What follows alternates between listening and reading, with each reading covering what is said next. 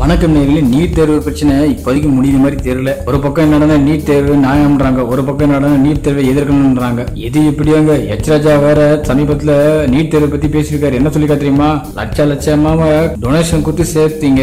இப்போ வந்து யார் வேணாலும் திறமை இருக்கிற யார் வேணாலும் நீட் எழுதி பாஸ் பண்ணிட்டா வெறும் கவர்மெண்ட் ஃபீஸ் பதினஞ்சாயிரம் ரூபாயில படிக்கலாமே. இது ஏன் எதிர்க்கிறாங்க அப்ப எதிர்க்கவங்க எல்லாருமே. கல்வி கொள்ளைக்காரர்கள் வேற சொல்லியிருக்காரு.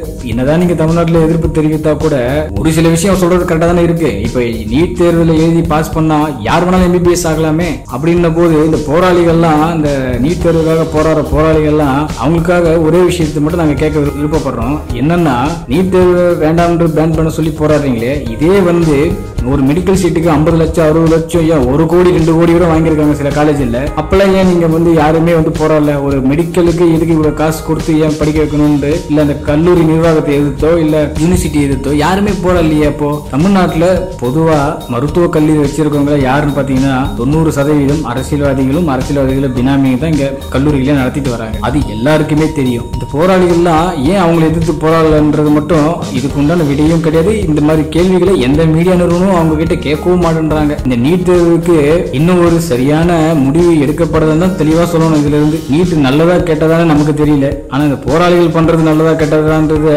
நீங்க முதல்ல தெரிஞ்சுக்கங்க. மேலும் இது போன்ற சுவாரஸ்யமான விஷயங்களை நீங்கள் உடனுக்குடன் தெரிஞ்சுக்கொள்ள டுடே சினிமா யூடியூப் சேனலை மறக்காம சப்ஸ்கிரைப் பண்ணிடுங்க. டுடே சினிமா நேயர்களுக்கு நன்றி. வணக்கம். Please subscribe to today cinema